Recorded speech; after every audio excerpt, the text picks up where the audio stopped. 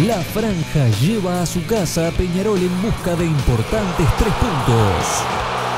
El Carbonero enfrenta la goleada pisando fuerte en Jardines para recuperar la confianza y seguir entreverado arriba.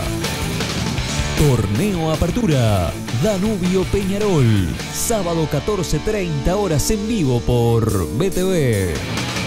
Presenta Coca-Cola.